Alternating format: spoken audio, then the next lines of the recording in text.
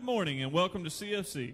We ask that all visitors please fill out and turn in visitor slips at the Connect Corner in the lobby and receive our new gift bag.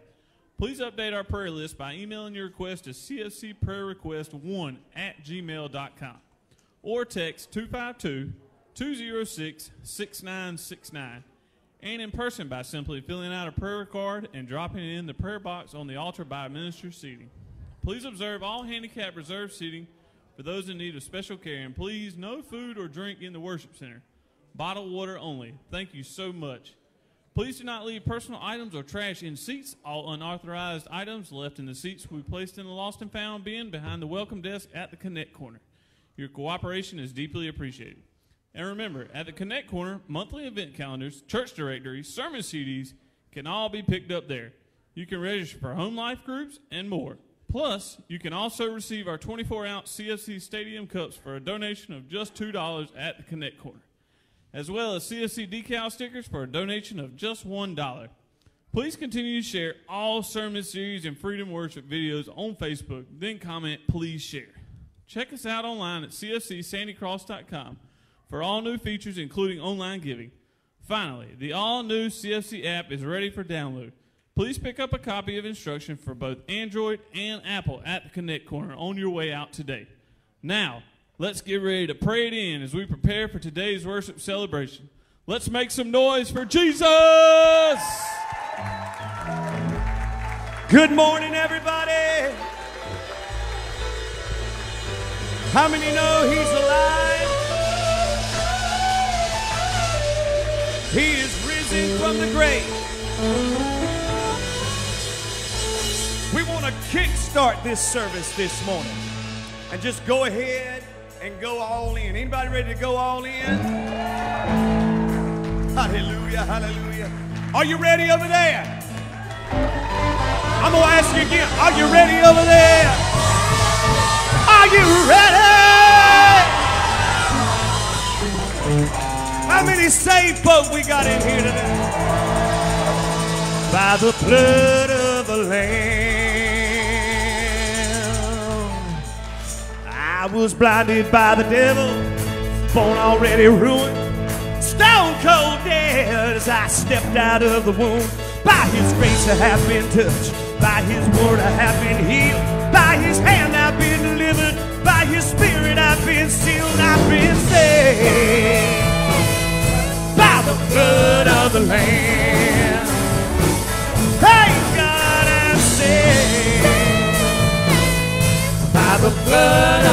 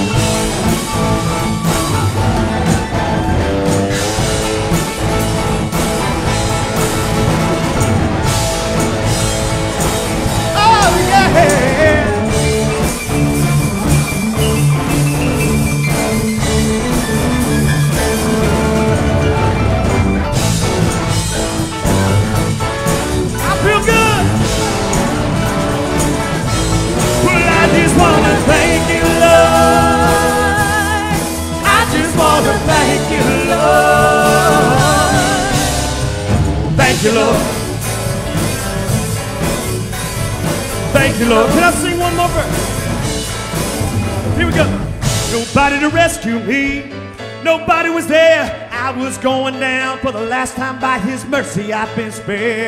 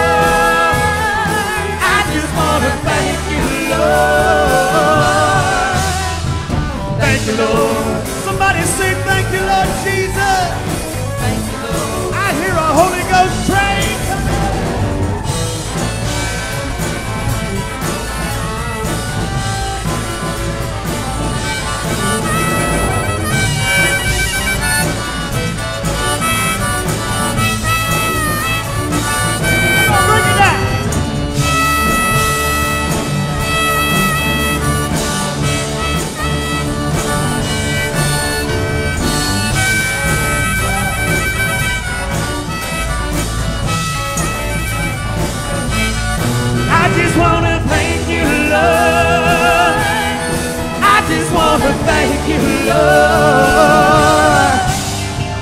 Thank you, Lord.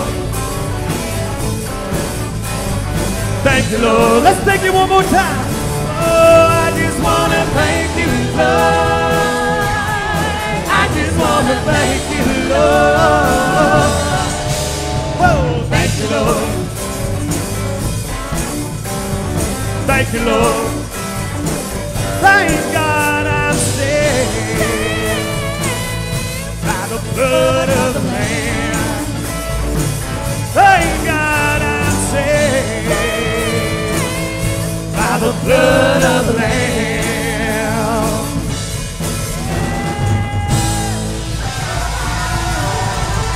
Thank God I'm saved.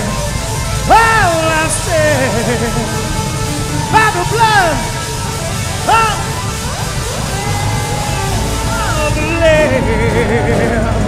Somebody give him a shout of praise. Come on.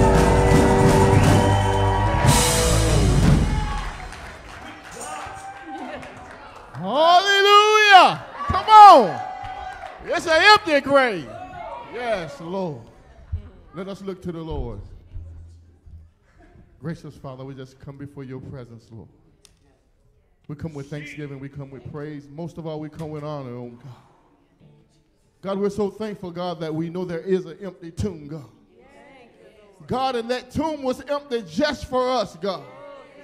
We thank you that you sent your son. You sacrificed them just for us, God.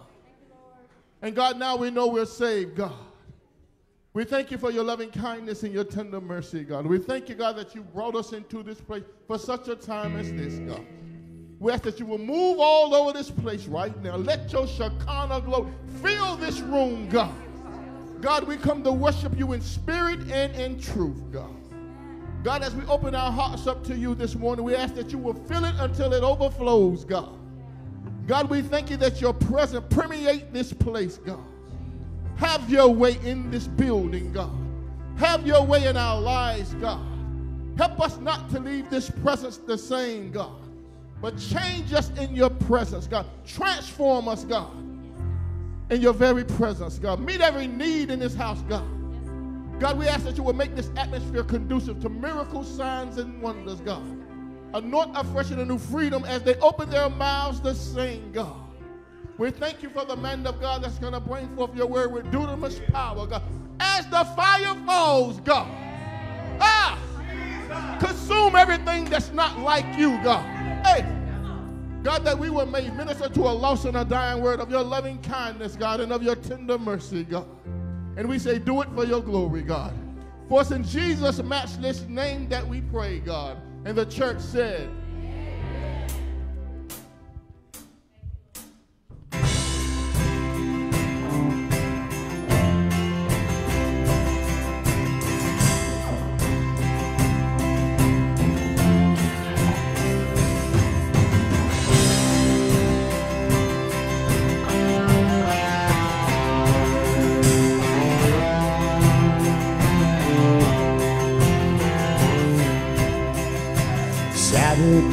was silent, surely it was through. Since when has impossible to ever stop you? Come!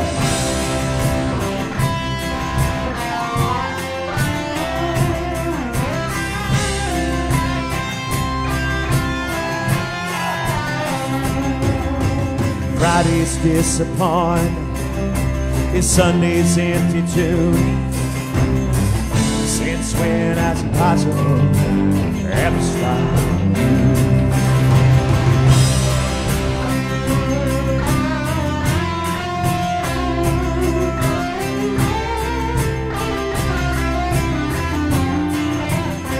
Sing it with me. This is the sound of dry bones rattling.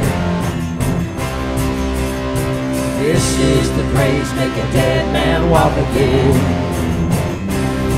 Open the grave, I'm coming out. I'm gonna live, gonna live again. I hear you. This is the sound of dry bones rattling.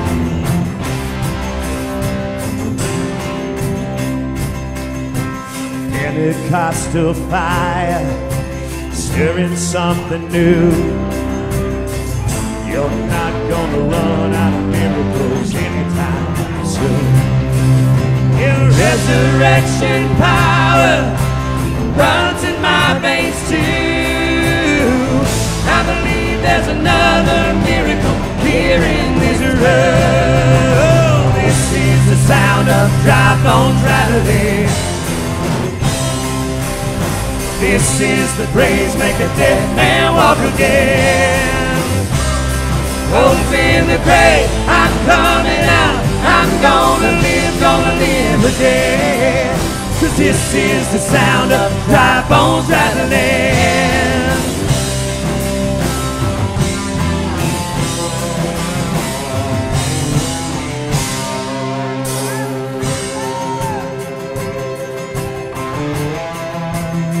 Oh, how many know we got a God who is able?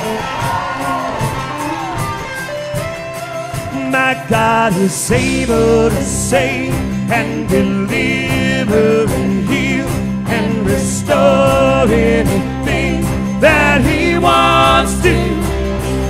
Just ask the man who was thrown on the bones of Elisha if there's anything that he can't do. Just ask the stone that was rolled at the tomb in the garden.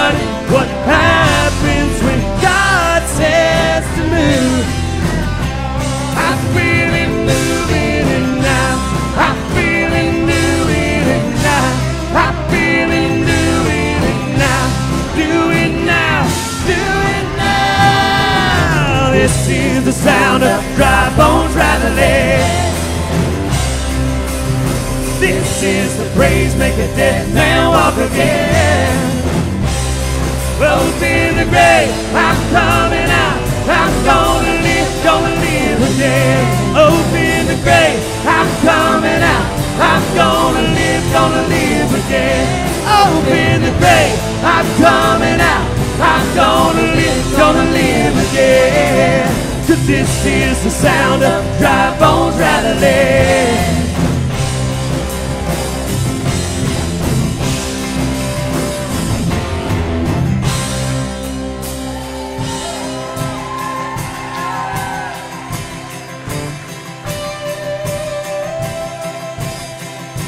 Why are you looking for the living among the dead? Don't you know he has done what he said he would do? He is not here because he has risen. I want you to command every dead thing in your life, every fading, fleeting thing in your life to live by the resurrection power of Jesus Christ. Come on.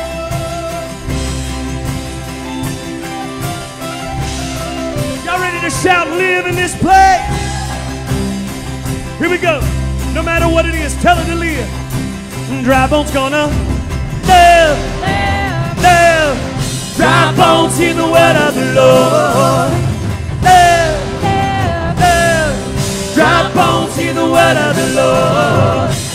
Live, live. Dry bones hear the word of the Lord.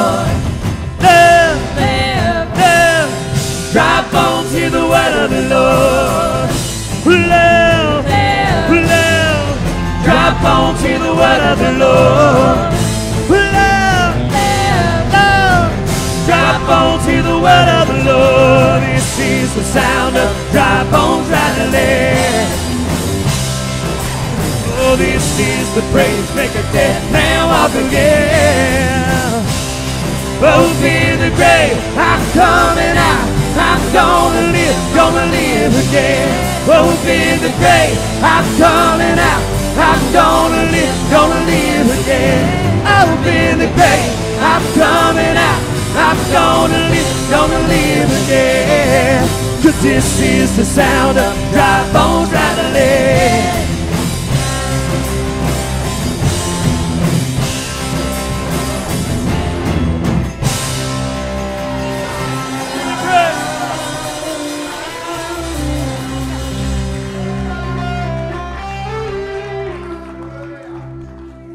The sound, dry bones rattling. Jesus, I'm so grateful this morning. I'm so thankful that the very same power that raised him from the grave is alive in me. How many so thankful for that today? I'm not here to celebrate religion today. I'm not here to celebrate an annual tradition.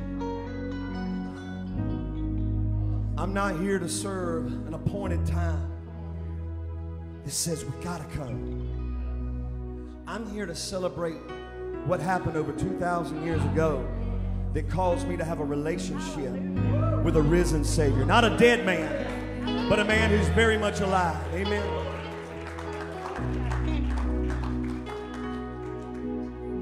He said I could have, I have in Jesus' name. Is that anybody else in this place?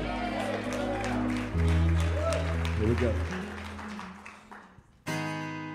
You call me from the grave by name. You call me out of all my shame. I see the old has passed away. The new has come. Now I have resurrection power living on the inside, Jesus. You have given us freedom. No longer bound by sin and darkness, living in the light of your goodness. You have given us freedom.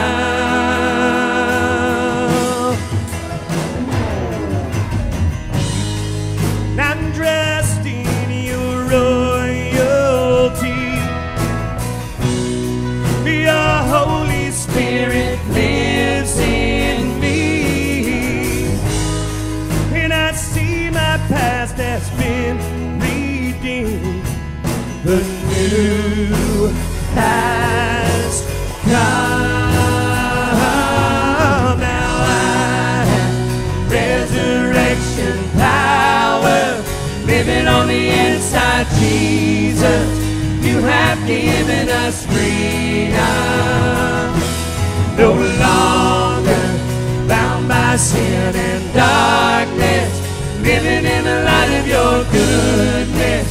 You have given us freedom. Freedom. You have given us freedom. You have given us freedom. My chains are gone. Hey! Freedom. You have given us freedom. You have given us freedom. Hallelujah.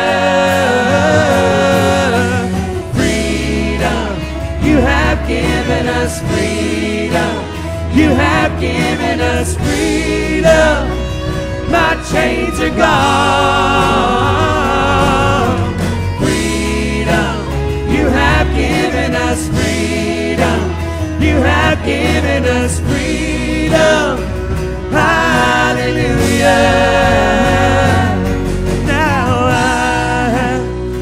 Resurrection power. Give him praise in the house.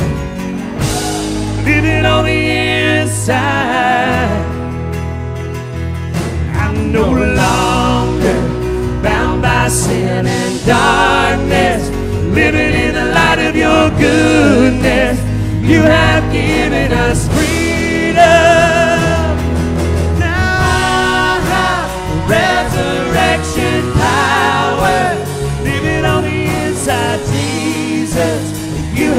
Given us freedom.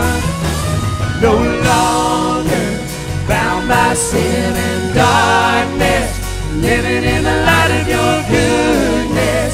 You have given us freedom. You have given us freedom. You have given us freedom. How many so thankful this morning for that freedom?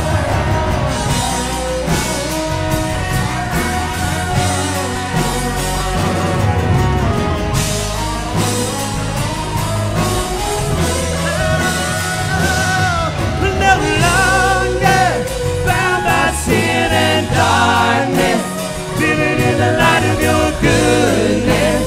You have given us freedom. You have given us freedom.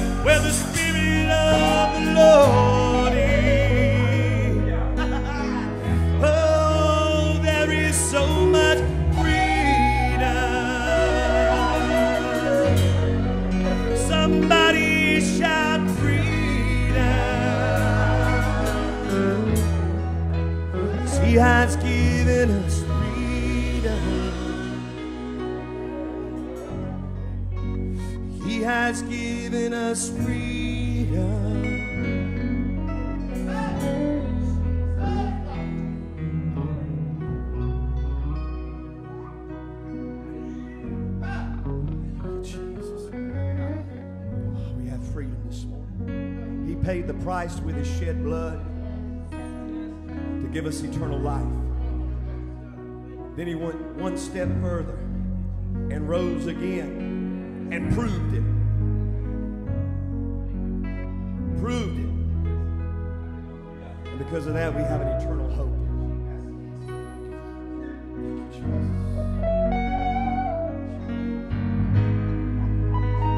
Whatever's tried to hold you down this morning, you're praising a resurrected king. So let him resurrect you this morning. Can you do that? Come on, let's celebrate with some praise this morning.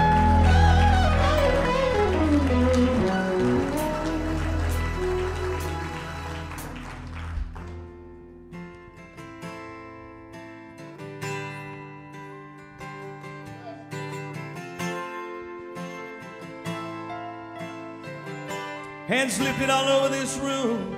Oh.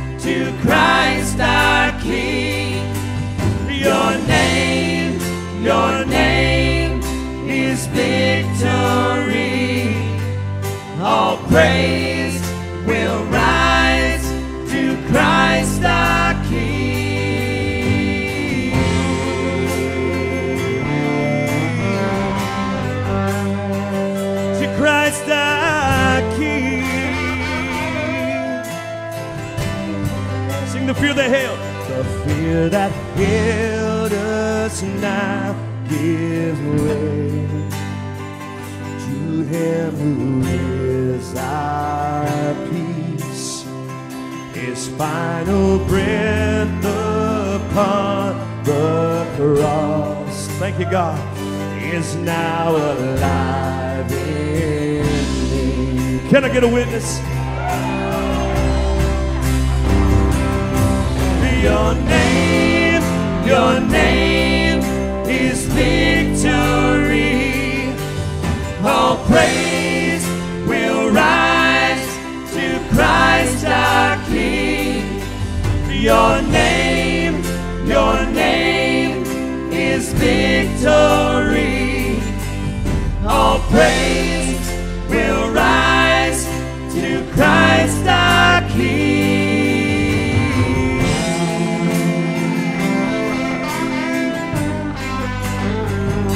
Christ our King.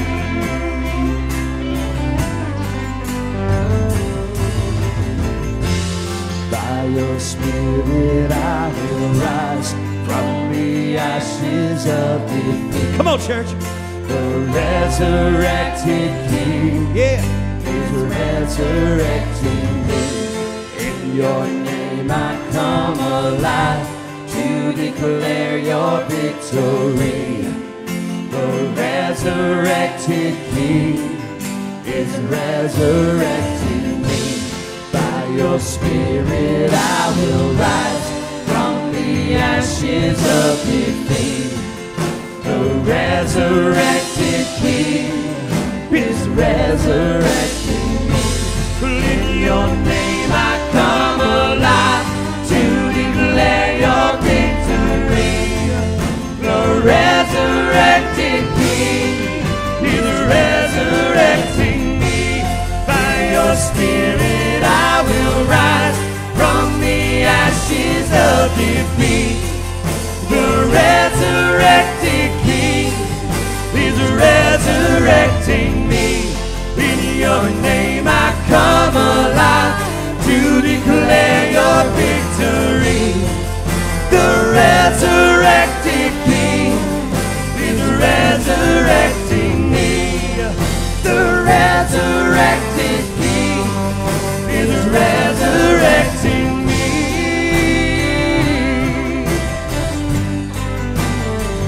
He's resurrecting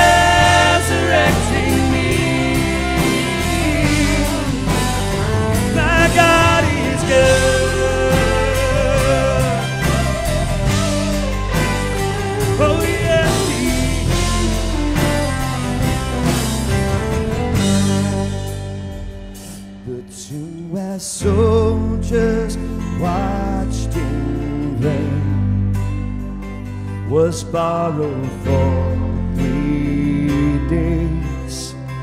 His body there would not remain. Our God has robbed the grave.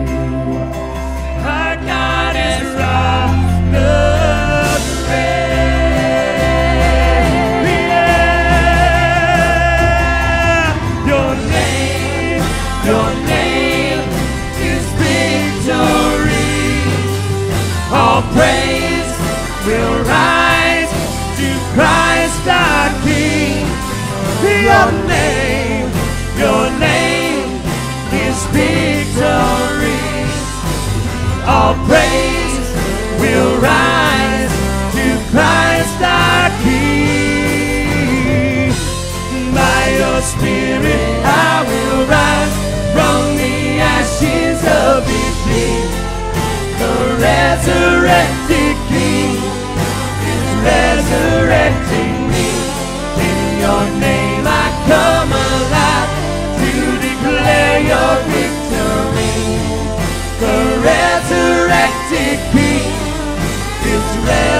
Sing with the drums. by your spirit I will rise from the ashes of defeat. The resurrected King is resurrecting me. In your name I come alive to declare your victory. The resurrected King is resurrecting spirit I will rise from the ashes of defeat. The resurrected King is resurrecting me. In your name I come alive to declare your victory. The resurrected King is resurrecting me. The resurrected King resurrected King is resurrecting me.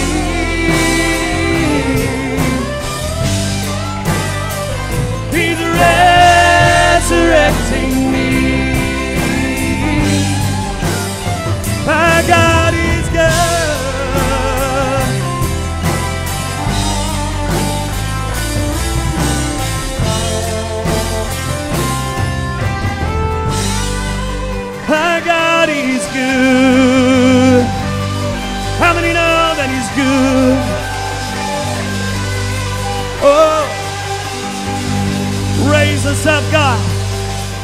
Raise us up. Uh, revival is here. Religion is gone. Revival is here. Come on, somebody. The revival of the church is now. Oh.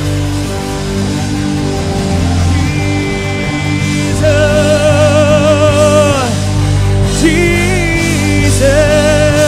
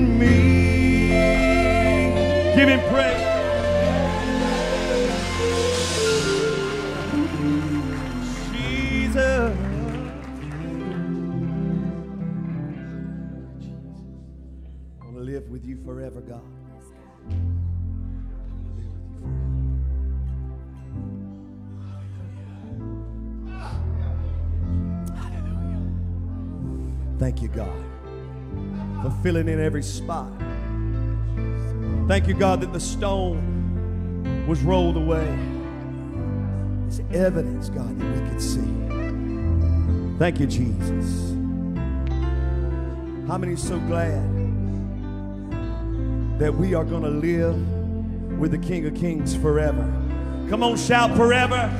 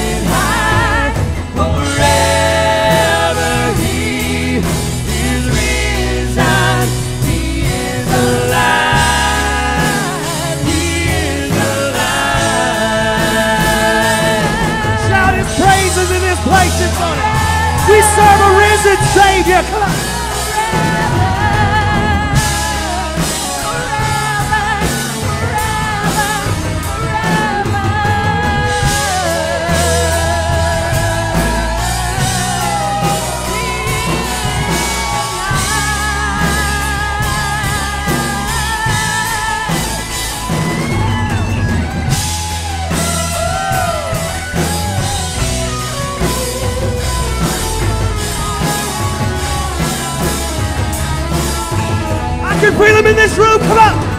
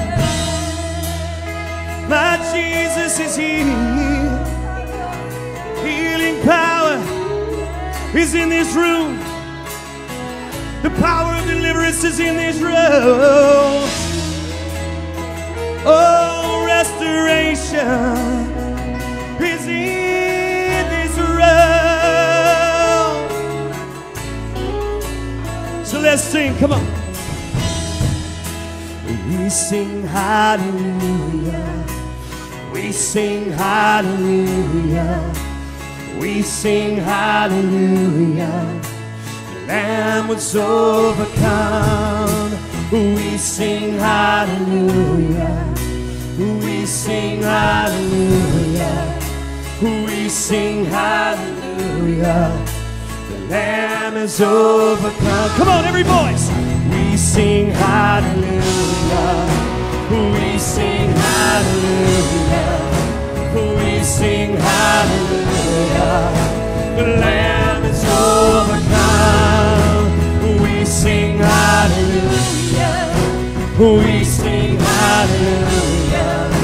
We sing hallelujah. The Lamb is overcome.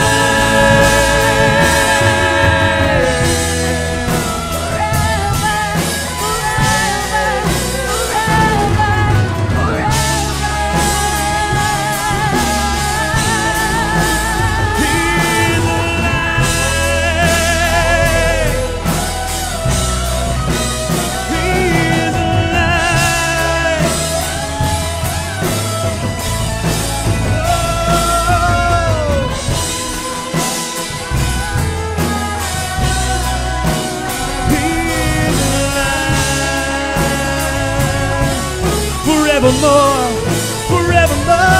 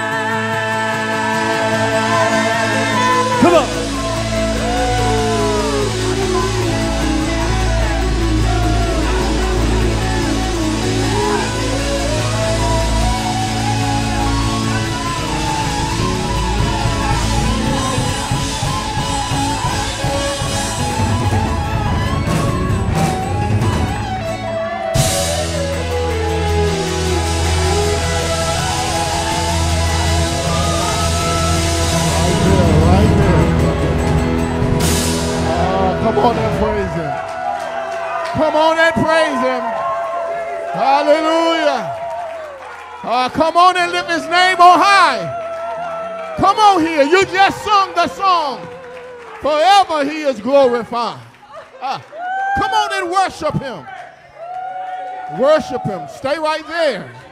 He called it a Ah. Yilabosha, talalabosha. Ah, stay right there. Stay right there. Stay right there. Stay right there.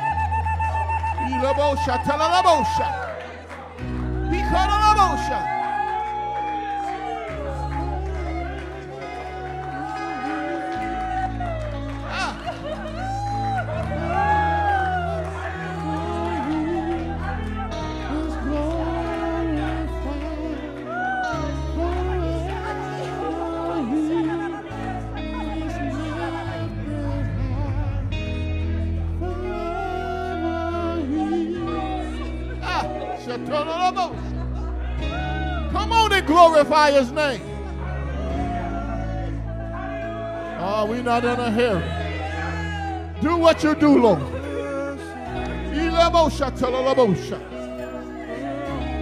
Oh, we've been asking for more. We've been asking for more. We've been asking for more. He's here. He's here. Ah. Come on here. Forever. He's glorified. Forever. He's lifted high. Come on, talk to me. Ah. Ah. Hallelujah. Hallelujah. Oh, hallelujah. I dare you to move the stone. I dare you to move the stone. I dare you to move the stone. Come on, talk to me. Ah. Will anybody move the stone? Ah. See, if you move the stone of your heart, he will come in. Ah. Ah. I said, if you move the stone, he will come in.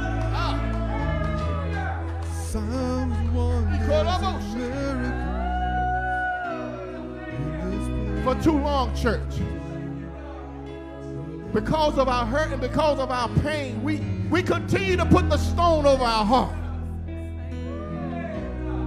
We won't give him access to our hearts. He wants our heart. But in order for him to get our heart, we got to move the stone. For the word of the Lord declared when he got to Lazarus' grave, he declared that I am the resurrection. But the Lord gave them specific instructions. He told them to move the stone.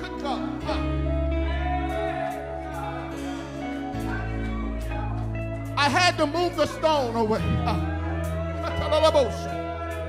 To give him access to my heart. There's a place of brokenness in the Lord that God is calling us to. And if we will just move the stone away, ah, he'll come in. Who will come in? The King of glory. The Lord strong and mighty. The Lord mighty in battle. Open up the gates. Open up the floodgates. Hallelujah. Come on, ushers.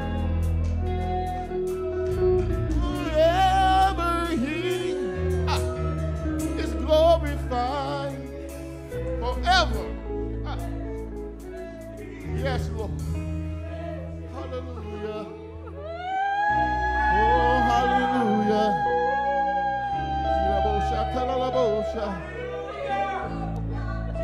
Hallelujah. Stay right there in the atmosphere of worship. Stay right there in the atmosphere of worship.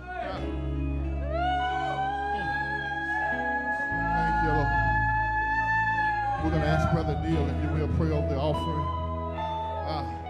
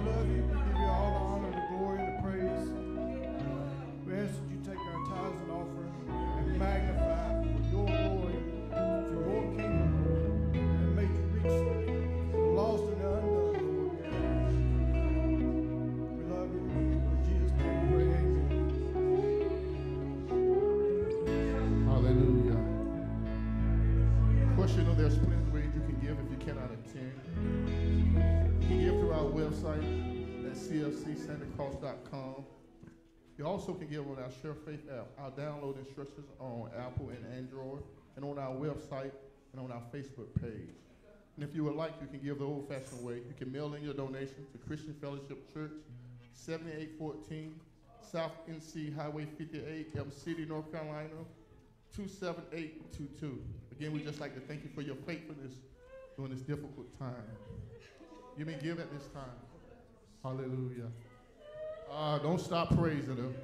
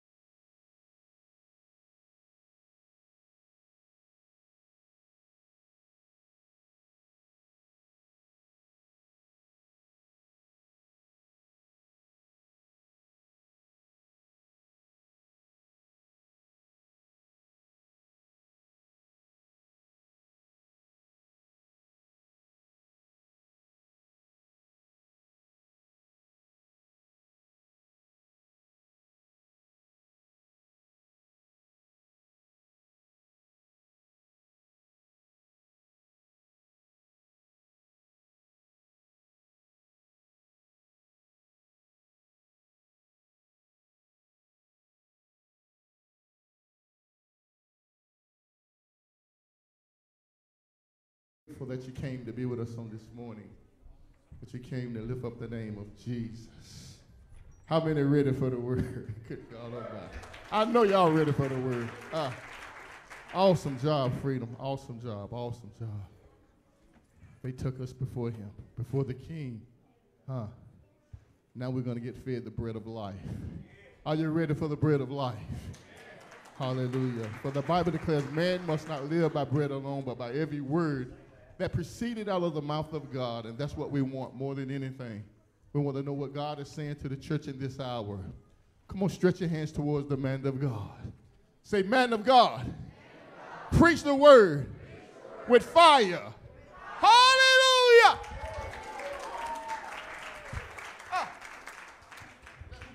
Hallelujah. Mm-mm-mm. We could go home right now, but I, I believe the word is important.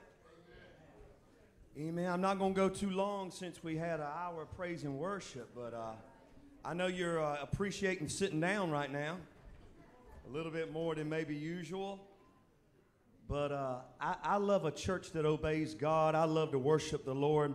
And I love for the freedom of Jesus Christ to saturate and just spread in a room. Amen because we didn't come to have a concert, we came to have an experience.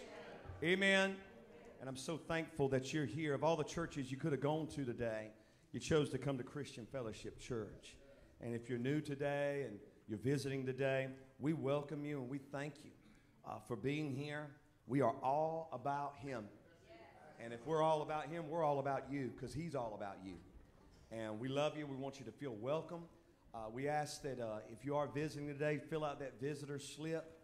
And if you didn't get one, just get one after church. Turn it in at the Connect Corner, and they will give you a free gift for coming today. Also, if you have your cell phone with you, go ahead and get it out. We need people to be seeing online what's going on here. We want to reach as many people as we can today. So let's go to the CFC page, CFC Sandy Cross on Facebook. When you click on that, just go to this live stream right now and simply click share. We're believing, we've been believing for 50 plus, and we've been getting that already. Let's believe for 100. Let's believe for 150 today. You say, why, why, why? Because the more people that share, the more views we have. The more views we have, the more people are reached with something good on big tech, something good on social media for a change. How many know that we can turn things around? Amen. Come on, the Bible says the wealth of the wicked is laid up for the righteous. Amen. Come on, we could take it and use it for the gospel this morning. Hallelujah. So I want to remind everybody that services are always available. Online with Facebook Live at 7 p.m. Wednesday and 10 a.m. Sunday. Then on YouTube by 8 p.m. Wednesday and 12 p.m. Sunday. And again, please share. I want to thank everybody that participated in our, key, our kids' Easter egg hunt yesterday. It was a great turnout. And I want to thank all the children's leaders. Joy and her team did a fantastic job. And we're so thankful. Not only did they just, not only did they go find Easter eggs, they heard the gospel in a way that they could understand it. And I am appreciative of that, all right? This Friday is our big youth fundraiser golf tournament. Thank you for everybody that's gotten involved, uh, made donations, sold sponsorships, collected prizes. Uh, this is going to be fantastic. Pre- please pray that the weather holds up so we can play this thing and be done. Amen. Hallelujah. And then we can get our playground for our kids. Hallelujah. And our basketball court. Amen. Come on, somebody. Sonic can have all that and all these. Other, so can the house of God. Amen. We want to bless our children, and we're so thankful for everybody. Man, the prizes that we're giving away makes it so good on the golfers, and I'm just so thankful. Be praying for the team of volunteers that's helping my wife that day as well. And uh, who knows? I, I would just love for a CFC golfer to bring home the first place trophy this year. Amen. But either way, and maybe one that stands right here. Uh, perhaps. I don't know. But we're going to have a good time. And I just, I thank you so much. Uh, we, we have to turn in all of our tee signs by Monday. So let's go ahead and get those sponsors in as well as the donated prizes by this uh, Wednesday because they'll be uh, getting all that together Wednesday night, going over there to take everything Thursday, and then they will uh, will have the tournament uh, Friday. Ladies, men's, and senior fellowship resumes this month. So the ladies will do something next week. We'll have more uh, information about that uh, on Wednesday. Then, then the men, then the, the seniors. Home life groups resume in May. They couldn't resume tonight because it's Easter, and we want you to enjoy your family time today. I know I am. Amen. We're going to eat good today. Hallelujah. Um, and then here, this is something new, spontaneous. Fell into my lap, and it was easy. It wasn't hard. It wasn't complicated. That's when I know it's a God thing. Come on, Amen. So we're going to have something called the Outpouring. It's a summer revival with national speaker William Pollock, June 27th through the 30th. Amen. It's going to be something you really need to get. This is not replacing our empowerment conference. We're still going to have an empowerment conference in September. The lineup is already booked. But God laid it on my heart that we needed some supernatural stuff going on around here, and we need to get ready to take our faith to a new level. Amen. Are you ready in this place this morning? Hallelujah. God bless you, and thank you again for being here. Amen. At this time, our King's kids are going to be dismissed. Who do we have to thank? Are we having discipleship tonight since it's Easter? No, I didn't think so. Would it be an Easter? I didn't think so. Amen. Yes, we want everybody, myself, all, Chris, and all the leaders. We want you to enjoy your family time. Amen. Thank you, Melinda. We didn't get a chance to thank her. Thank you, Melinda.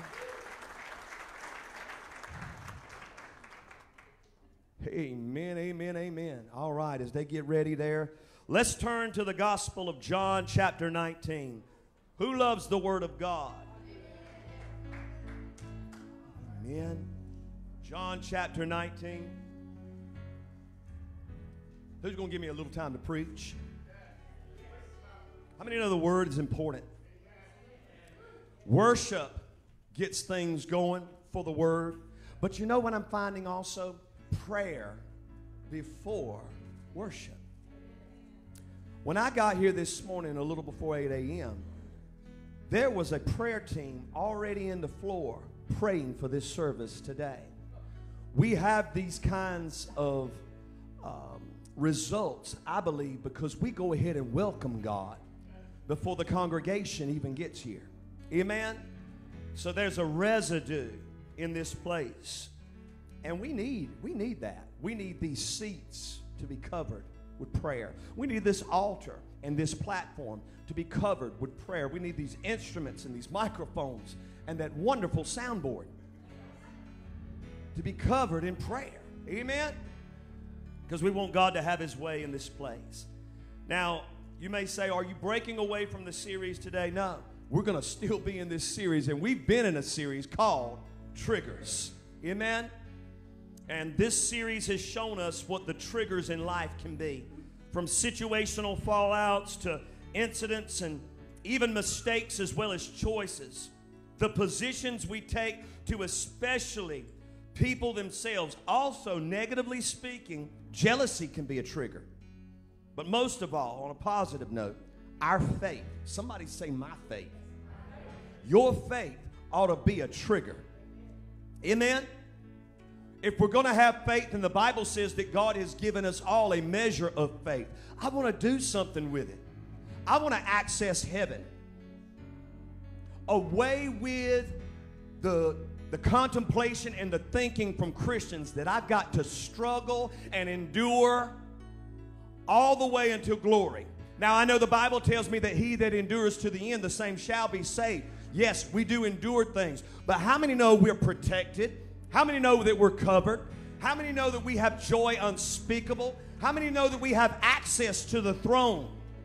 Amen? There were people while ago that were feeling the remnant of a throne room. Amen? And that might sound far fetched or weird to some people, but I am here to tell you we can access heaven from earth. I don't serve a faraway God that went away and said, I'll see you one day. No, he's here. He's risen. He said, I have been with you. Now I shall be in you. Amen. Amen. All right. With that said, we want our faith to access heaven and pull the spiritual trigger on covenant blessings, meaning blessings that I have and that I get simply from being in covenant with God. Amen. Don't hate on me if I'm getting blessed. Hallelujah. I can't help it. I'm in covenant. I'm in covenant with God. I want to access blessings that way. And while at the same time working what may seem, God can work those things that are against us for our good. Those things that are against, instead of fearing them, instead of saying, Why, God, why? Why don't we just start praising God like the Bible says and count it all joy? God, you're going to teach me something in this. God, you're going to use this as a trigger to propel me forward. Amen. Because all things work for the good of those who love the Lord. Amen. Even what comes against me can work in my favor. Too many people get bogged down with the things that are against them and they start to have a pity party and say, I never get a break. Why is this always happening to me? But I serve a God that can cause you to see it another way. He could cause you to have a whole new perspective and start seeing that thing that's against you as a trigger to propel you and push you forward towards your destiny. I need a Christian and a believer to get happy about that truth this morning. Today, on this Easter Sunday, we'll look at the ultimate trigger Jesus Himself pulled as we continue this series called triggers, before I pray, can we welcome back from quarantining another one of our blessed seniors, Francine Etzel? You know her as Mima. Welcome back, Mima.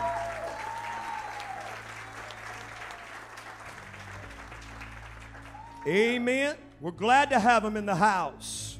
Hallelujah. Also, our long distance member online, our beach bum right there, Dawn Barham watches every week, loves her church. Hallelujah. She lives in a beautiful place. Amen. We're so glad to have Dawn here today as well. We love you. Father, we just thank you right now for your word. We thank you for this time of praise and worship.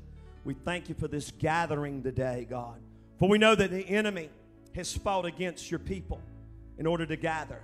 But God, we know that this thing is lifting and your people are coming together. We're forsaking not to assemble together, even as your return draweth nigh. God, we are glad to be here today on Resurrection Sunday. Lord, we thank you, God, that you rose again and that you're here with us now. Let every Christian heart in this place say amen. Say amen. Now give him a praise because he's so worthy. Amen. All right. I want to, as you're holding your place there at John 19, I want to review real quick where we were at last week, if I can, because I kind of want to build this thing up. Is that all right?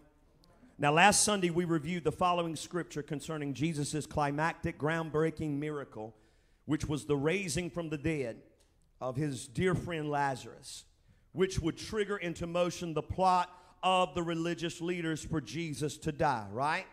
So at this point, Jesus has said, Lazarus, come forth. And the Bible says that he who was dead came out of the tomb alive, wrapped up in his grave clothes. Jesus said, Loose him, let him go. Right?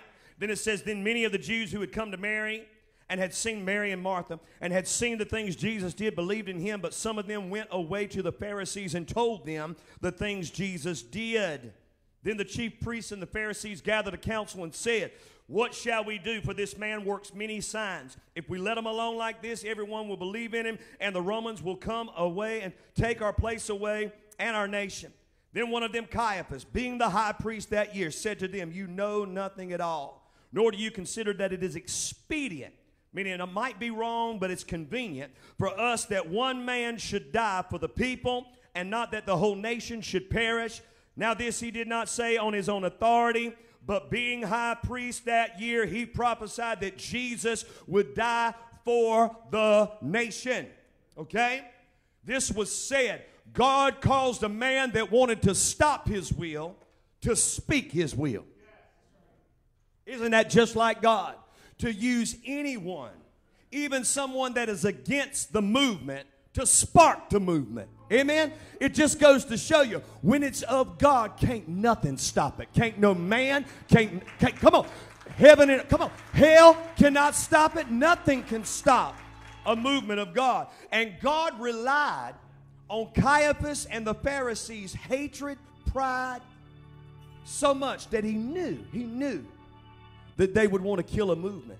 Don't ever let your religion blind you so much that God can count on you to kill a movement. I'm not talking about a non believer, I'm talking about a covenant Jew. Amen? And God wants to spark a revival in America. How many know that we're on the verge, I believe, of the greatest turnaround, the greatest reversal in the history of our land? I heard it said recently, and I, I love this. Israel didn't choose God, God chose Israel. You know why I know that America has a covenant with God and God loves America? Because God didn't choose America, but America chose God. America chose to take our Constitution and our Bill of Rights and base it off the Word of God. Amen? And that's why the devil is fighting so hard to make wrong called right and right called wrong and legalize things that are an abomination unto God. But if the people of God will rise up in this day, if my people who are called by my name, come on, if we'll cry out, is this just regular preaching to some of you in this room? I'm here to tell you revival is on the way. Revival is going to wreck your religion. Revival's about to wreck your tradition. Revival is about to spoil your gravy and your grits. Amen. Revival is on the way. Revival is getting ready to shake you. You've never danced before, but you're about to start dancing. You've never, ever wanted to lift your hands, but you're about to start lifting your hands. You ain't never laid hands on folks and prayed in Jesus' name before. But the Holy Ghost is about to give you a boldness like you've never known before because revival is here. Does anybody want revival in the land? Hallelujah. Now, with this said, I'm going to try to behave. Hallelujah. He did not say it on his own authority, but being high priest that year, he prophesied that Jesus would die for the nation. Now, again, this was a trigger that set things in fast motion for Jesus' destiny on the cross. It would not be long now that he'd be handed over for Rome to execute. But we know that Pontius Pilate would wash his hands of it, right? And Caiaphas would speak up. Caiaphas was the high priest. Only the high priest could offer the sacrificial sin each year for the people. Right? So Jesus wasn't executed like the thief on the right and the left, he was offered up. Amen? Pilate ordered the execution of the thief on the right and the left. He didn't order it for Jesus, he let Caiaphas order it in order to keep peace. My focus point for John 19 that you've been holding for a minute is this my first focus point. Claiming what you don't even believe in order to get what you want. How sad it is for someone to align themselves with something or someone that they don't even agree with in order to get what they want. I hope some pastors are listening to this. I hope some legislators are listening to this. Claiming what you don't even believe in order to get what you want. Look at this. Now, fast forward through Holy Week, which we just went through. The turning over of the tables, the declaring to the people that before Abraham was, Jesus said, I am. The Last Supper the praying in the garden, being handed over for, to Herod, being handed over to Caiaphas, had a mock trial in the middle of the night, taken to Pilate, beaten, and that wasn't good enough. Having his skin stripped from his back, having a mock crown of thorns embedded in his head, cutting the blood vessels, bleeding out on the Via Dolorosa. He's faced Pilate at this point, who has found him innocent. But Pilate washed his hands of it and let the Jewish leaders amongst the crowd make the final decision.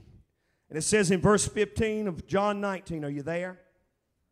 But they cried out, Away with him, away with him, crucify him. Pilate said to them, Shall I crucify your king? Because Jesus told them, they told Pilate, Jesus claimed to be a king. Jesus said in layman's terms to Pilate privately, You know, you don't even realize what kind of king I am. So Pilate's maybe having a little fun here. Shall I crucify your king? Li- listen what the chief priests answer. We have no king but Caesar. These are covenant Jews. These are the people of God proclaiming that a pagan, non believer, is their king. They've never done this before. They've never shown this kind of allegiance to Rome. They didn't want to be occupied by Rome. They wanted Israel to be free. They didn't want to be conquered by Rome. They wanted Israel to live in freedom. Yet, in order to get what they wanted, they claimed something that they didn't even believe. How sad is it when a Christian will align themselves with things that are anti-Christ, anti come on, anti-Bible in order for their agenda to be met? Am I talking right in this place? You cannot align yourself with things that are not of God if you're a man or woman of God. You have to be careful what you listen to. You have to be careful what sources you trust. There are lies and confusion everywhere around you. There are people who will claim to have your best interest at heart, but you have got to check the spirit and know. And they may be good and they're not evil, but they've been lied to. They've been taken advantage. They've been used. They've been confused. And they're blinded to what is really good. Amen. Come on. You have to stand up and have the freedom to have your own voice based off the Word of God. He said, We have no king. This is the high priest now. We have no king but Caesar. What about Jehovah? Okay, you don't believe that Jesus is the Messiah. You don't believe that the carpenter's son is the Messiah. What about Jehovah? He never says anything about God. He pledges his allegiance to a politician only. Man cannot save you. Verse 16 says, Then Pilate delivered him to them, to the priests, to the religious leaders to be crucified. And they took Jesus, led him away, and he bearing his cross went out to a place called the place of a skull, which is called in Hebrew Golgotha, where they crucified him, and two others with him, one on either side, and Jesus in the center. Amen. Keep Jesus in the center. Amen. Now, Pilate wrote a title and put it on the cross. And the writing was this Jesus of Nazareth, the King of the Jews. Then many of the Jews read this title, for the place where Jesus was crucified was near the city, and it was written in Hebrew, Greek, and Latin. Those were the three mainstream languages of that time. It was written in every language that people could understand so that all people could see. Amen. That a king was on a cross. Come on, somebody. Everybody that walked by, no matter what language they spoke, they could see there's a king there. Amen. And what did that uh, prophesy? It prophesied that Jesus is not just the king of the Jews, but he's the king of everybody. Come on, somebody. He's the Lord of all. Now, it says on verse 20, excuse me, verse 21, therefore the chief priests of the Jews, they didn't like that now. Chief priests of the Jews said to Pilate, Caiaphas said, Do not write the king of the Jews, but instead write that he said, he claimed he was the king of the Jews, right? And Pilate said this, I like this. Even though he's a non believer, watch this. He said, What I have written, I have written. I ain't changing it for you. Now, was Pilate mocking Jesus? Or was he at the same time, or even only just flexing his authority to Caiaphas? Because he didn't want Jesus to be crucified. Pilate was being fair. He saw that Jesus had committed no crime. But he had to give Caiaphas what they wanted because he could not have riots. He could not have things stirred up. He did not want Caesar to send people down there. See, Pilate was the governor of that area, Caesar was over him. He had to keep things nice and quiet. But I don't think he liked it. I don't think he liked having to let Caiaphas make a decision. But he did. And he could have been mocking him, I don't know. But he at the same time was letting Caiaphas know I'm still in charge. Now, just as God calls Caiaphas to prophesy that Jesus would die for the people, perhaps he also calls Pontius Pilate to write King of the Jews. Yet the church leaders still wanted to kill Jesus. Even a pagan found him innocent. Even a non believer saw in the eyes of Jesus that he was clear that he was not guilty. And even on a sign, it said he's a king. But they couldn't see it. They couldn't see that their promised Messiah, they had destroyed his body. Can I give you shouting point number one this morning? Stubborn pride won't allow you to see the good things you've destroyed in your life, despite how clearly visible they may be until you submit, until you say, God, forgive me, until you say, God, show me anything that I've missed, show me anything that I've left unsurrendered. Good God, show me anything I've not confessed. God, show me anything I've not made right. And if I missed it, God, show me because I don't want to miss it because I don't want to destroy any good thing in my life due to pride. You say, well, we're a church full of saints. We're a church full of Christians. We're a church full of believers. You don't have to tell me that. Can I tell you, Christians suffer from pride just as bad, if not worse, than non believers? Come on, somebody. Amen. Don't think you're so saved and you're so religious and you're so churchy. Oh, this ain't no way to talk to new folks in the crowd. Then, oh, I just got to tell you like it is. Amen. Hallelujah. That's why God put me here. Amen. Hallelujah. You have got to realize there is pride in your life. And the moment you think there's nothing you need to change and there's nothing you need to do, that's the moment you need to do something. Whether you sit in the pew, whether you play on the stage, whether you stand behind the pulpit and preach. Amen. We all have to realize that pride can invade our lives and cause us to be blind to the things that we've destroyed. I don't want to destroy anything good in my life. Listen, you say, well, we would never do anything at this level. These folks were the church. They thought they were doing right. They were so used to having church. They were so used to having traditions that they didn't even see the Messiah come. Lord God, don't let me get so stuck in tradition that I can't see when a wave of glory is being sent in the house. Don't let me hold the pew of tradition and religion and not even realize that the Holy Spirit is in the room. God, when you're speaking to me, I want to hear you clearly.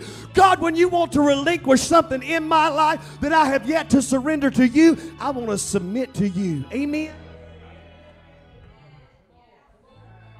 This is unpopular preaching because the mainstream preaching today is happy go lucky, and we don't ever talk about sin, and we don't ever talk about surrender. Come on, somebody. But we've got to realize, amen, that we still need voices crying out in the wilderness that says, Make way for the Lord, repent, repent, repent. Somebody ought to give God a praise.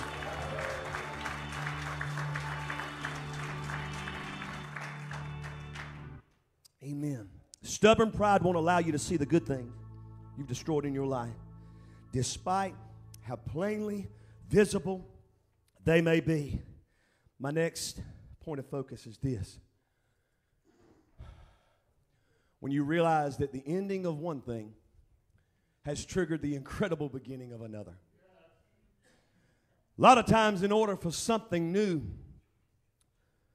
and great and incredible and powerful and influential to get off the ground, something else great has to come to an end. But many times the torch is passed. Many times what starts up in the new movement takes the momentum from the old one and doesn't desecrate it, doesn't ignore it, doesn't say that nothing great ever happened there. But Jesus himself even told the disciples, Greater works will you do than I did. And he raised up dead people.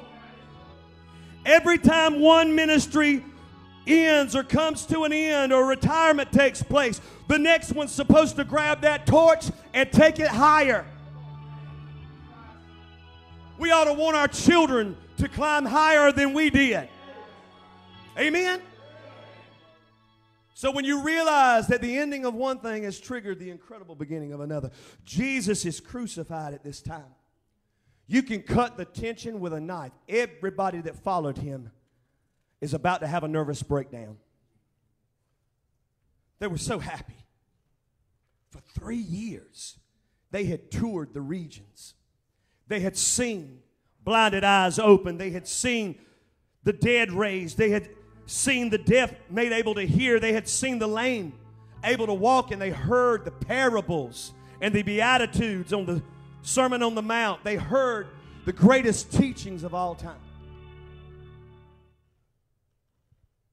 And yet, in their flesh, they're starting to have doubts. They've all dispersed, they've all scattered. Was it just? Was it true? Was he for real? They killed him. He's dead.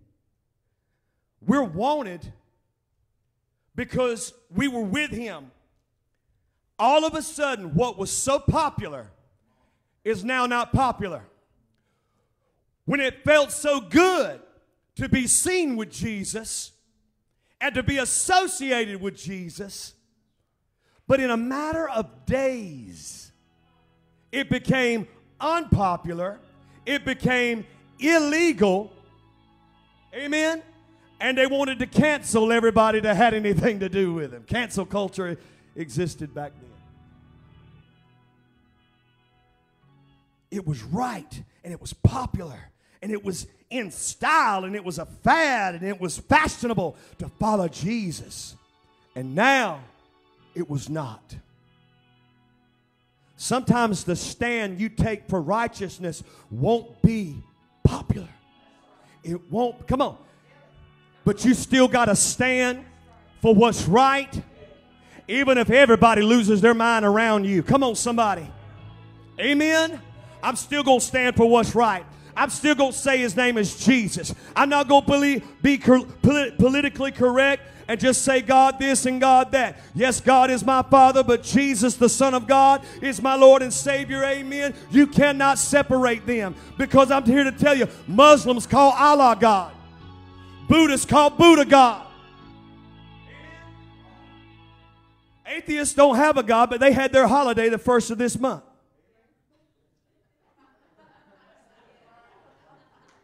They've already had their holiday, Stokes. I mean, do y'all know any atheists?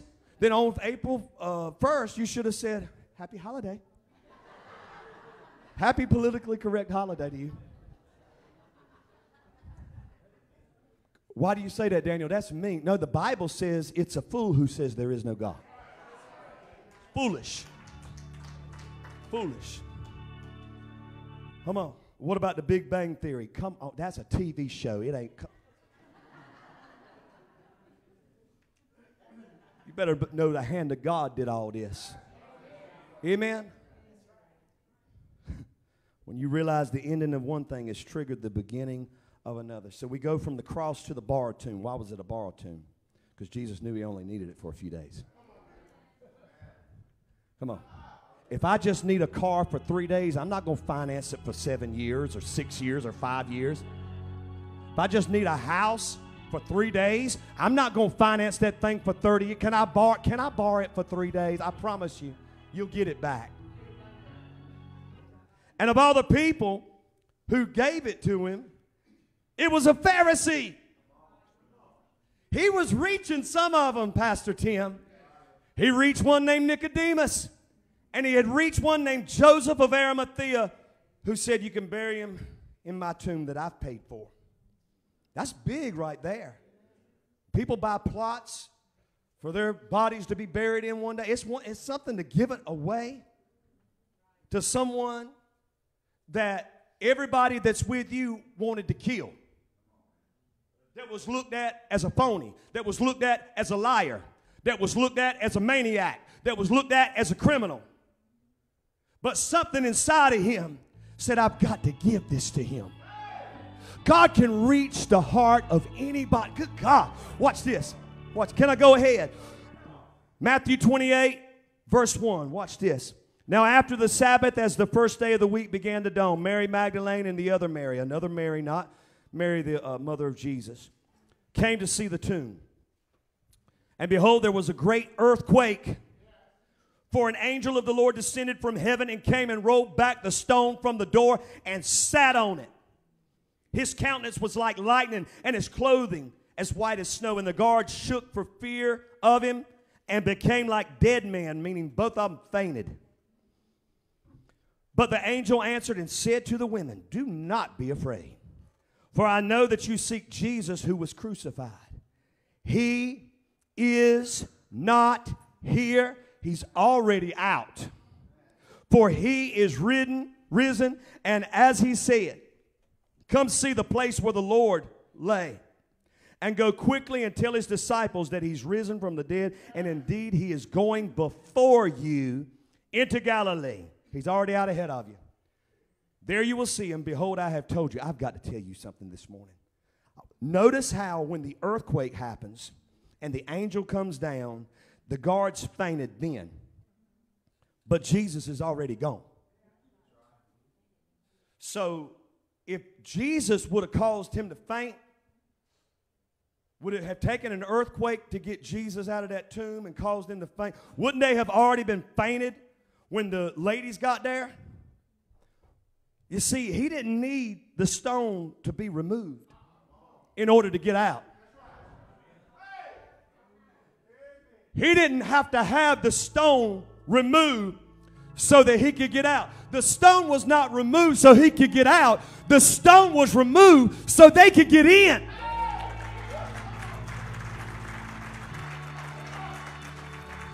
The guards didn't even see him leave. That means the stone didn't roll away. What happened then? The stone was rolled away so there would be witnesses to the fact that he won't in there. He must have walked right through that stone, or he walked through some part of it, he walked out of it. What does that tell me? Good God Almighty. If he's alive in me, I don't have to have the heavy things that hold me back necessarily move out of the way in order for me to come out of them.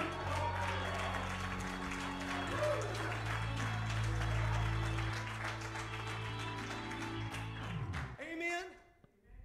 Listen, it's just like the veil. The veil, the veil was not uh, torn so that God could reach us. The veil was torn so that we could reach Him. It was torn from the top to the bottom. Never confuse that. Had it been torn from the bottom to the top, man could have done it. But it was torn at the moment Jesus said, It is finished. Amen. Nobody could have climbed up to the top that quick and done it. God did it. God did it because He wants you to be able to reach Him. Quit thinking you serve a faraway God. He is risen. He is in. Come on. Jesus lives in me. I don't have to have the heavy things that I face be taken out of the way before I can start rejoicing before I can start li- living, before I can start moving forward. This thing is in front of me, but I'm still going to have the joy of the Lord. This thing is still, I'm still facing this thing. Amen. You mean to tell me I got to wait until it moves to praise my God? No, I will praise God right now. Amen. And as, as I praise Him, I walk through what has to be removed for other people. Other people won't start living until it's removed. What if it takes a year? What if it takes five years? I'm going to live. I'm going to prosper. I'm going to thrive despite it. Amen. Verse 8 So they went out quickly from the tomb with fear and great joy and ran to bring his disciples word. And as they went to tell his disciples, behold, Jesus met them, saying, Rejoice. So they came and held him by the feet and worshiped him. Oh, the level of faith this must have given them all. The very core of our faith now. You see, had Jesus only died on the cross and not resurrected to be seen by eyewitnesses, he'd have been chalked up as just a martyr. But he's not. He's the Son of Man and the Son of God. Therefore, give me shouting point number two. Watch this. He was man enough to willingly lay down on a cross, but God enough to powerfully rise up out of the grave. Amen. My Jesus did both. My Jesus was not scared. He did not tap out. His nerves got a little tore up when he was praying.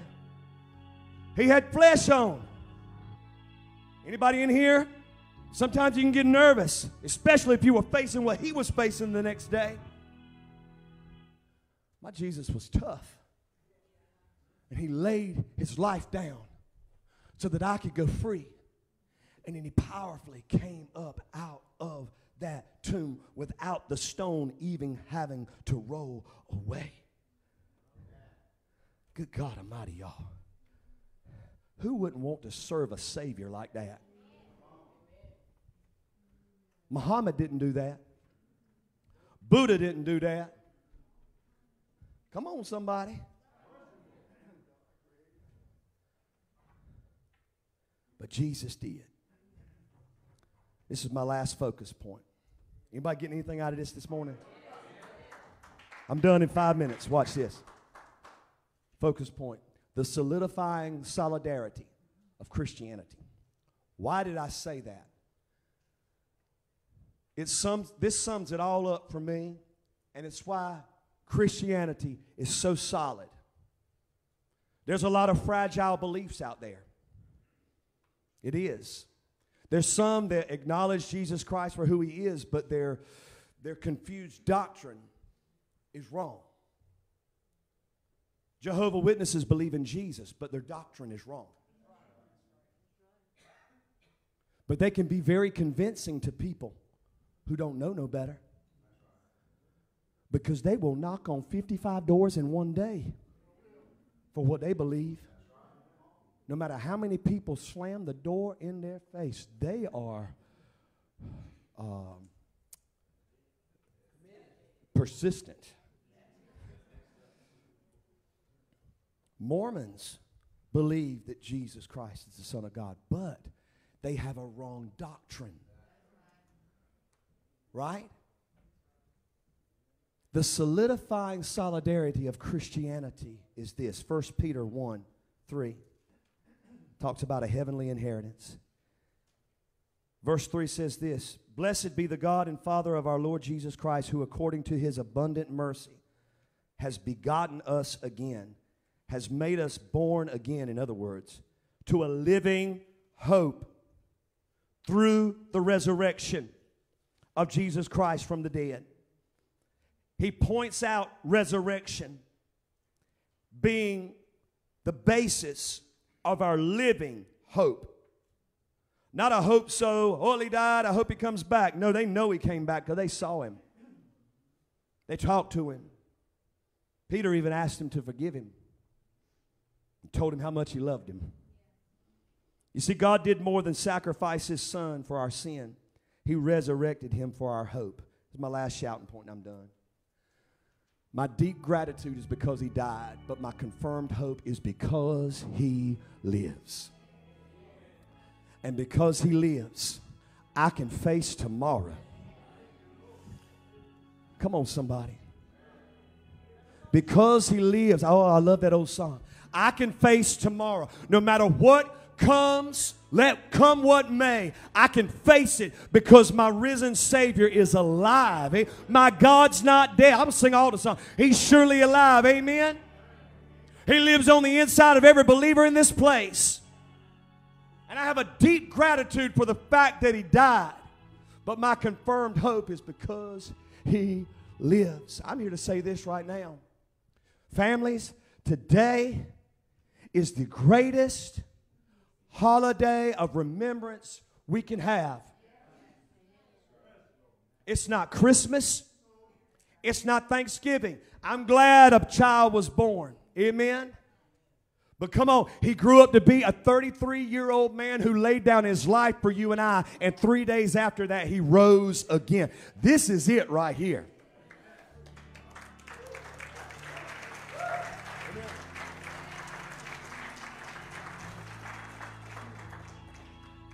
And for everybody online, and anybody in this nation, anybody in this community, when you have a relationship with Jesus Christ, every day is Easter.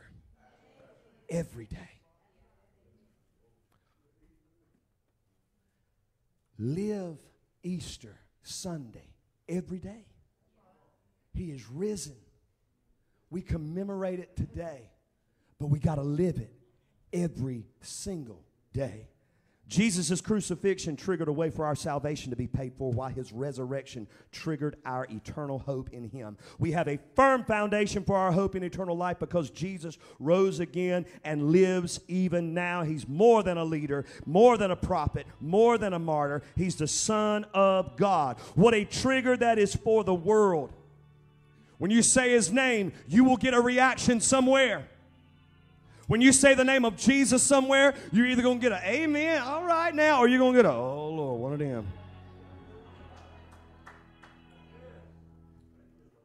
Jesus' name is going to get heavier and heavier in the time we're living in now. Why do you say that? Because they were praying in the House of Congress in Jesus' name. Now, with the new Congress, they have recently said God's will does not matter to this Congress.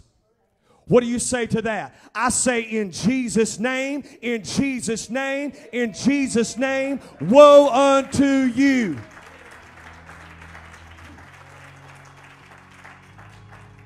You look at how people are treated when they, in the secular realm, when they stand up for Jesus. Look at how Tim Tebow was treated Look, come on. Look at how Kanye West was treated. You say, well, he's kind of out there a little bit. He still was proclaiming the name of Jesus. I'll take it. What's the other girl's name? Uh, starts with a D.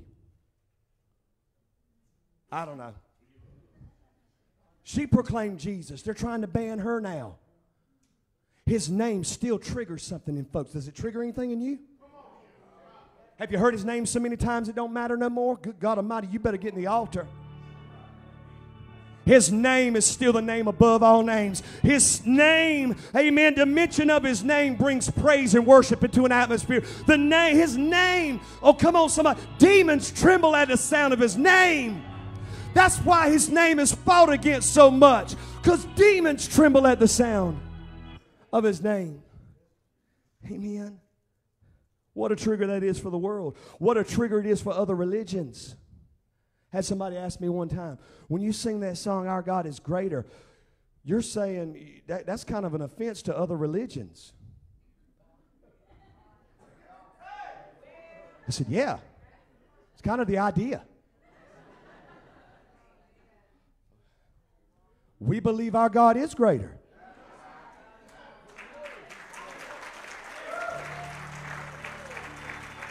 I don't go around saying, My God's greater than yours. My God's greater than. No, no. My God is real. Their gods are not even real. There is no God but Jehovah. There is no Messiah but Jesus. There's no other name under heaven in which man can even be saved than that of the name of Jesus. Oh my God, my God. And guess what? His name ought to be a trigger for you. His name ought to be a trigger for you. As I close this morning, the incredible spiritual trigger that the resurrection of Jesus was then and still is today should trigger every believer in this time we are in right now to live a newly resurrected life. I beg you, with everything I've got in me, I'll even get down on one knee. He got down and washed people's feet. Laid my life down as a servant of Jesus Christ. I urge everybody in this room and everybody watching online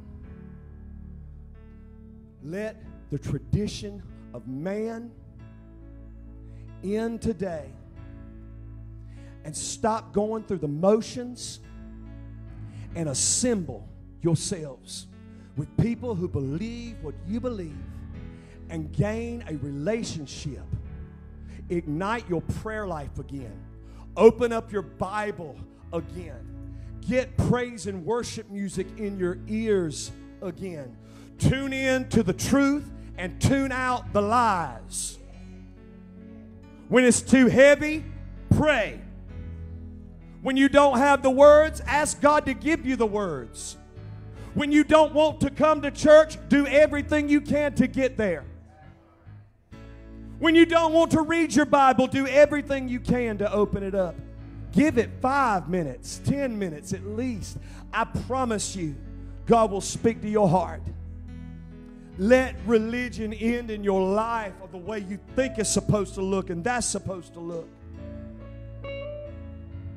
We're in the end times now, closer than ever before.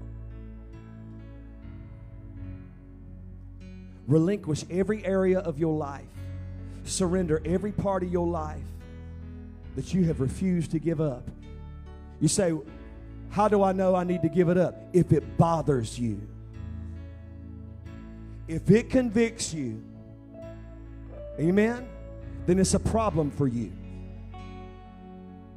When it convicts you, the Holy Spirit is speaking to you. So many folks don't think they can hear from God. Yes, you do. God can speak directly to your heart. God can use your own conscience to shake you. Amen. Don't let this day just be about, can I go ahead? Don't let this day be about the new outfit. Don't let this day be about 40,000 Easter eggs. That's good for the children. That's good for the children. Children gonna be children. I'm not one of those religious zealots that wants to ban Santa Claus. That is, that's fun for little children. Paul said, when I was a child, I thought like a child, or reasoned like a child, but when I became older, I got rid of my childish ways. Amen. Nothing wrong with that stuff. We have Santa Claus here. Nothing wrong with Easter egg bunny or whatever he is. Bunnies, Easter egg bunny. Can a, can a bunny hatch an egg, Brother Jerry? I don't know. Maybe a Sandy Cross rabbit can do it, huh? Here's the thing, though. You make sure they know this. And the kids that came here, yes, they knew this. Easter's about Jesus. Christmas is about Jesus. Amen.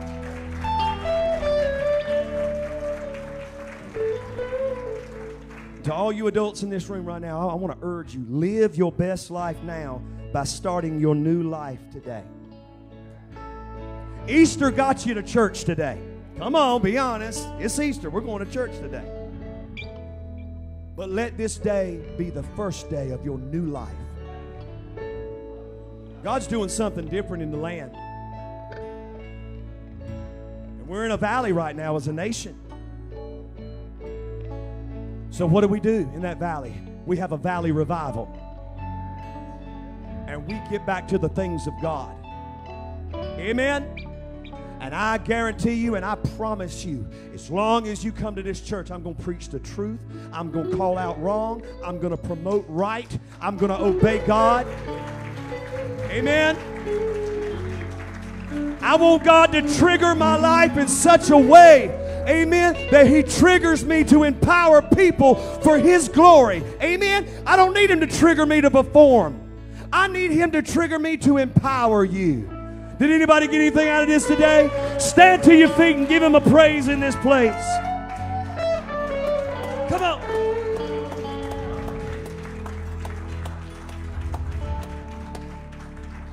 Every head bowed and every eye closed. This won't take long, but what I'm about to do is so vitally important. It means so much. So I'm going to give the room just a few seconds to get themselves straightened out here so that it's not interrupted. All right, are we good? Are we ready to be about the lost that don't know Jesus Christ? How many people in this room right now know that you play a critical part in that? Will you raise your hand if you're saved and on your way to heaven this morning? Okay, you're the ones I'm counting on to pray for those who are not, okay? So, with every head bowed and every eye closed, I need every saint in here to pray your own way. Let God give you the words to say. But I want you to pray right now for God to work the greatest miracle that could happen in this place right now. And that is for a lost soul to give their heart to Jesus. Can I get every Christian in here? I need you to pray. Pray with fire. Pray with enthusiasm. Come on, somebody. Rebuke the yawning. Don't give God your yawning pray. Amen. I want you to pray right now that if there be any among us that is lost in this place, and those watching online, if you're lost and undone, do not play with God today. When you put it in all caps and say, I want to be saved, really mean it. Really mean it, and we'll baptize you Wednesday. Amen. With every head bowed and every eye closed on this Easter Sunday, Resurrection Sunday. Who would raise their hand and say, I need Jesus? I don't know how to do this. You may have all these thoughts saying, Well, I got to be perfect. I got to do this. I got to do that. Let me tell you something. The Holy Spirit will begin to perfect your life and begin to perfect your mind. If there's any Christian in here that wants to lay down an unsurrendered area, come on and lay it down right now. Lay it down in prayer. If it's in your pocket, lay it down. I don't care if it's a crack pipe, a heroin needle. I don't care what it is. If it's a problem for you, if it's affecting your mind, if it's affecting your health, lay it down. If it's in the car, the ushers will let you go out and get it, and you can bring it and lay it right down here on this altar. Daniel, what do you do? I want people to get free. We don't need to just sing about it and shout about it. Come on, let's see it. Let's see it. I'm tired of families hurting over these things. I'm tired of there being a greater belief in a bondage than a greater belief in the bondage breaker. And He is here, He is risen. Is there anybody here today on either side of this altar that wants to lay some things down for God? Don't hold on to it. Don't be afraid to fail. Show God you need His help. Lay it down on this altar. Is there anybody in here lost and undone and you could leave this place today, fall asleep in your chair today and never wake up? Drive home and not make it home. Would you be in the eternal presence of Jesus? Now, we've had people raise their hands to say they are saved. With every head bowed and every eye closed, who'll admit today, I'm not saved? I'm not saved, preacher. I'm nervous. I don't know what to do. But I know I'm not saved. Anybody? Don't play with eternity. I thought I could play with eternity. I thought that I could piggyback my family's salvation. And that because I was in church, that was good enough. It is always wonderful to be in the house of the Lord and to open yourself up. But when we get to heaven, when we stand before judgment day, it won't be about church attendance. It won't be about what we attended. It'll be about what we believed. It'll be about what we committed to. It'll be about what we received. It'll be, be about what we spoke up and said we wanted. Is there anybody in this place today? I know it's, it's tough. This is Easter. I know it's tough. But God can give you the boldness right now to not care what nobody thinks. Is there anybody among us that'll come take my hand? Father, I come to you right now. I pray the spirit of conviction on the lost. I pray the spirit of relinquishment and surrender to those who believe but could be holding back and have not given their whole heart to you. God, let them realize today they can overcome because you overcame. Let them realize that today. That it's not too late. We're going to sing a line in this song and then we're going to dismiss. At any time as we sing, you can get out of your seat and you can come here and we will have a rejoicing party for you along with heaven. I want to sing about overcoming this morning. Because you overcame. Sing, Savior, worthy of honor. Savior, worthy of honor and glory, worthy of all I pray. You overcame. Yes, you did. Oh, Jesus, awesome and power forever. Awesome and great is your name. Cause you overcame, and we will overcome. And we will overcome by the blood of the Lamb and the word of our testimony. Everyone will overcome, and we will overcome by the blood of the Lamb and the word of our testimony. Everyone will overcome. Come on, don't fight it. Get out of your seat right now, and we will overcome. Surrender by the blood of the Lamb and the word of our testimony. Everyone will overcome. Lay it down, sister. Come on. And we will overcome by the blood of the Lamb and the word of our testimony. Everyone will overcome. Savior, Savior, worthy of honor and glory, worthy of all I pray. You overcame, you overcame, so can I, Lord Jesus. Awesome and powerful. Awesome and great is your name. Cause you overcame. One more time, sing Savior. Come on.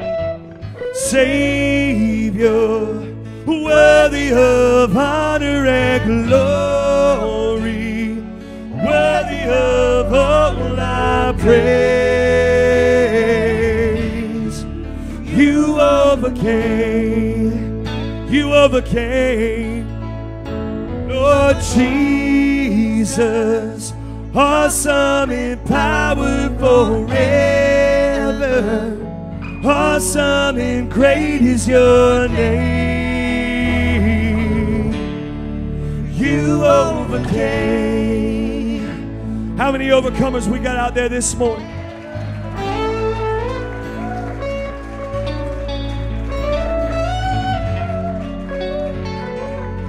God, I pray the prayer she's praying. God, I pray the prayer he's praying. And God, I pray for those among us that didn't come and those online that may have not commented.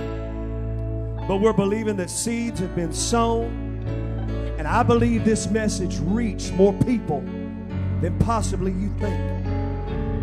And I believe because of that, people are going to hang up religion, tradition, time limits on God, and they're going to grab a hold of a real, tangible, life changing relationship. And that's what I want, because that's what changes lives. Amen. Come on and give him a praise. Pastor Jerry, would you come and pray us out this morning?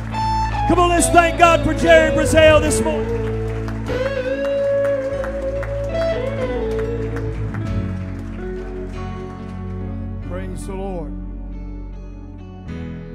Appreciate that wonderful message Pastor Daniels preached this morning and the authority that you spoke with today.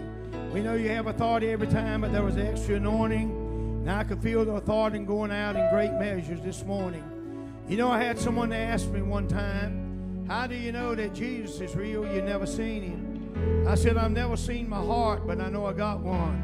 I can feel it beating. Amen. I know he's alive because the Word of God says he's alive. He said, I'm he that was dead, but now I'm alive, and I'm alive forevermore. I know when he went in and the devil went out. Thank God, and I'm feeling right now Jesus on the inside. Thank you for your presence here this morning. God, thank you. Pastor Daniel, Pastor Tim, thank you. And I thank you. May God bless you, meet every need. We want to thank God this morning, Brother Paul and his wife back this morning too. They've been out a good while. So we're glad that God was able to bring them back. Father, we're so grateful for every prayer you've already answered, for the prayers that you are going to answer, dear God. Thank you for always fulfilling our need, loving us with all of our faults and our failures. And God, we know even though we fail you, you've never failed us. Now I ask your blessing to be upon every home, oh God. Let this message be stored up in our spiritual library. Let us always remember, God, as we met here this morning, your love was so real and the Spirit so present. Each of our hearts have been affected by it. Now, all the needs, all the hope, desires of God, the desires of your people, God, we place it in your hands.